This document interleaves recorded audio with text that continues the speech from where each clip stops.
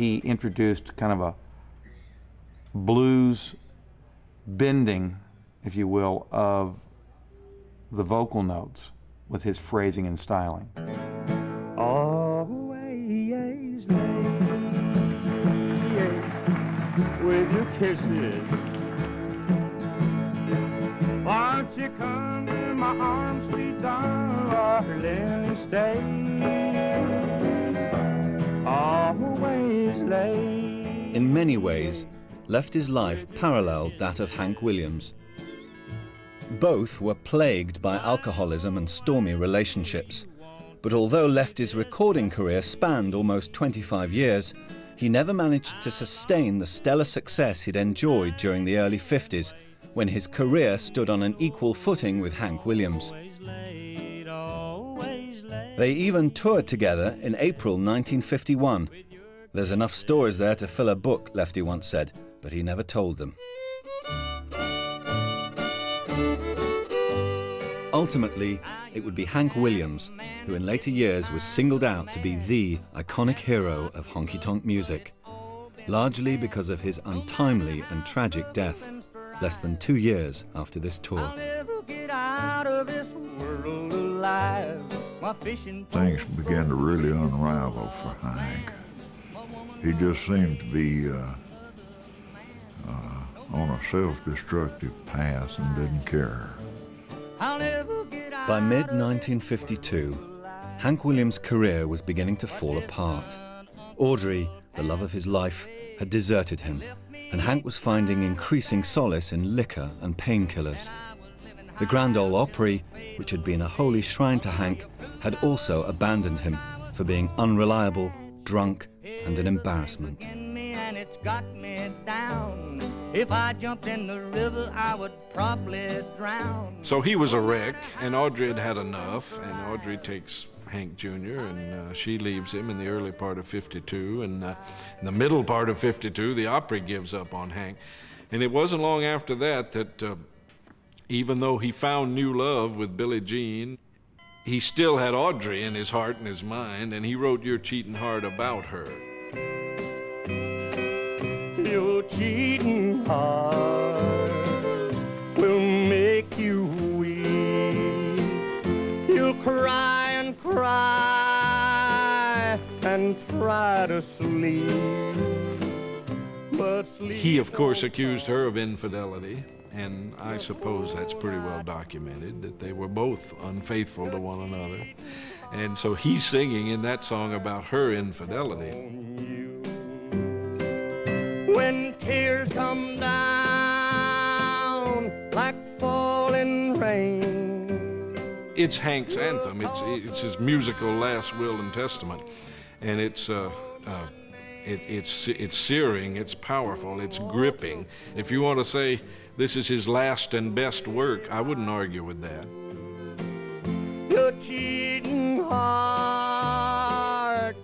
At the time he wrote Your Cheating Heart, Hank was sharing a house with another musician who got to know him well.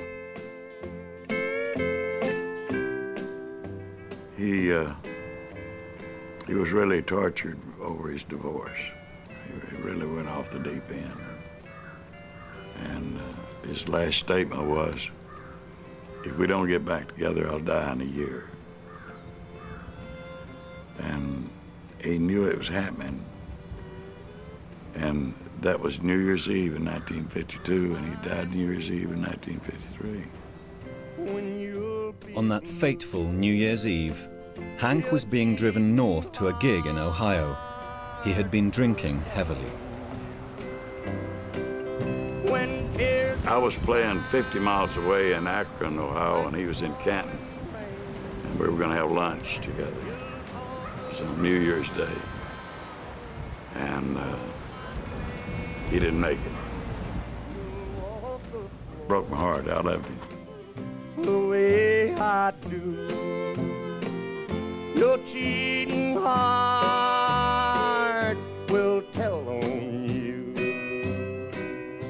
Hank Williams' death at just 29 from an alcohol and drugs induced heart attack shook the world of country music. At the funeral in Montgomery, Alabama, a crowd of 20,000 lined up to pay their respects. Among them was Ray Price, who was determined to keep the honky tonk spirit of Hank's music alive.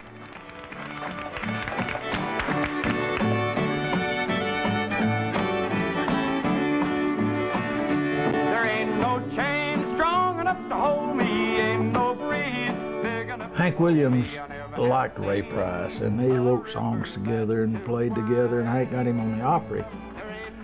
And he would take Ray on the road with us, and Hank would let him sing and stuff. And so after Hank's death, we continued to play for Ray Price. But it wasn't that simple. I was so into Hank as a friend that it began to drift into my music. And we were playing one night, and this fella come up and said, "I want to thank you for doing what you're doing. You sound more like old Hank every day." So going home that night, I told him, I said, "I love all you guys, but I gotta let we gotta we gotta split because they couldn't play anything but that one sound." Ray Price would later take on the Cherokee Cowboys, and with this new sound, he had a massive hit in 1956 with Crazy Arms.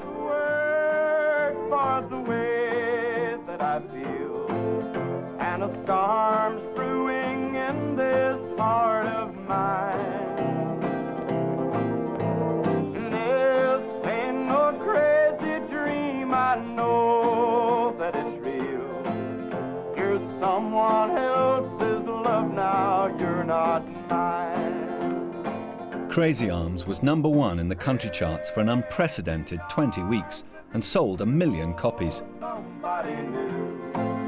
For my yearning heart keeps saying you're not mine. Part of its huge success was a driving rhythm called the 4-4 shuffle beat. It was to feature heavily in many of the hits to come. What Ray Price did that he's probably uh, the best known for, among musicians anyway, was Ray popularized what we call the 4 4 shuffle beat in music. And that is the bass plays instead of the normal uh, two beats to the measure, doom, doom. On Ray Price's, it's doom, doom, doom, doom.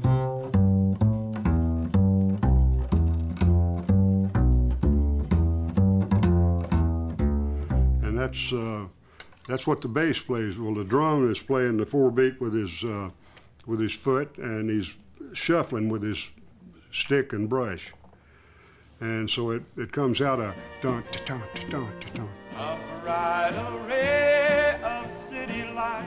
Ray Price was to take his winning formula and apply it to songs like Heartaches by the Number and City Lights. the night lonely guys like me.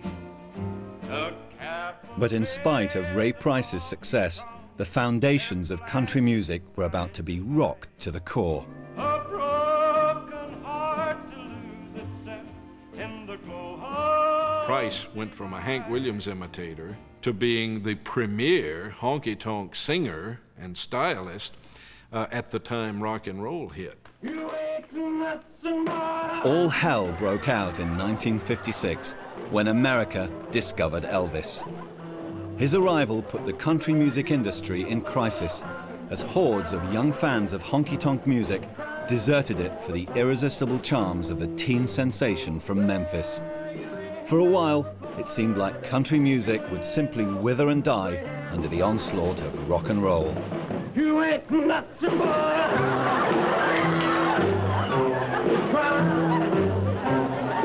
Actually, Hank Snow was the first person who told us about Elvis. He'd, he'd been, he had played some dates. He'd played some dates. He'd played some dates with the, El, uh, with Elvis, and he came back and told us at the Grand Ole Opry on Saturday night when we saw him. He said, "Well, there's a little boy down here, long sideburns, and you can't follow the little so and so on the stage."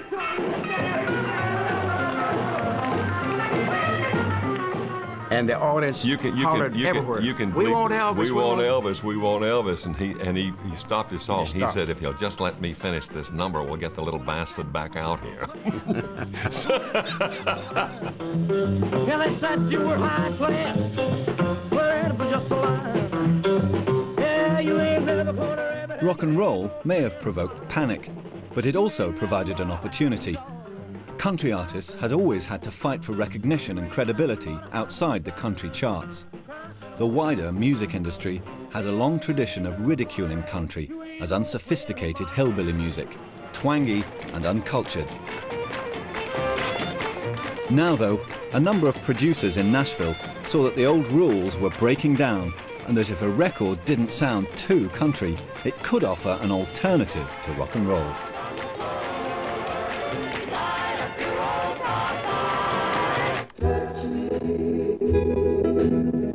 What they came up with was a new radio-friendly brand of country pop, which smoothed out the twang and became known as the Nashville sound. Touch me, touch the girl who once held all the world. The producers in Nashville, whose country sales went down at the time rock and roll hit, said, why don't we change country a little and appeal to some of these pop fans who are so turned off by rock and roll that they might give a different style of country a listen. The architects of the Nashville sound were Owen Bradley of Decca Records and Chet Atkins at RCA. As the two leading producers in Nashville, they would be responsible for shaping the careers of many new stars and creating a sound that would dominate the next 20 years.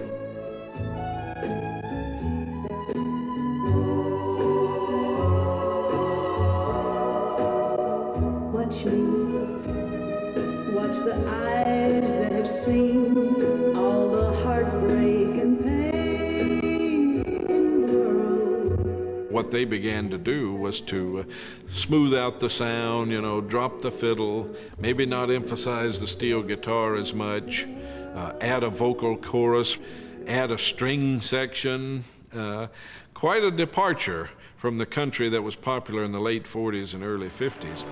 South of the border, hey, I know that he's got more fun than anybody. Jim Reeves would prove to be the ideal candidate for the Nashville sound treatment. He'd started out in the Texas honky tonks, but once he began working with Chet Atkins at RCA, he became one of the first country singers to cross over successfully to the highly lucrative world of pop. Jim Reeves had tried, I guess you'd call it honky tonk music. He's rather successful at it. Always on the go, sun shining down on Mexican Joe. He had hits like Mexican Joe and Bimbo, sung in a high register, sung with the fiddle and the steel and so forth.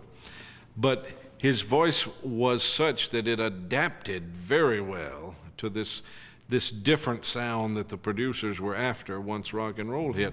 Four walls to hear me. Four Walls was the first great Nashville sound record. Released in 1957, it was the turning point in Reeves' career, proving to himself and his producer Chet Atkins the huge potential of this new kind of country music. Closing in on me. One night with you is like heaven. Reeves knew exactly what he was doing. He had studied diction, and he had this hypnotic baritone uh, that just that just mesmerized his listeners. And wait. It was Reeves's idea to get in close to the microphone, and he did that uh, expertly on Four Walls, for example.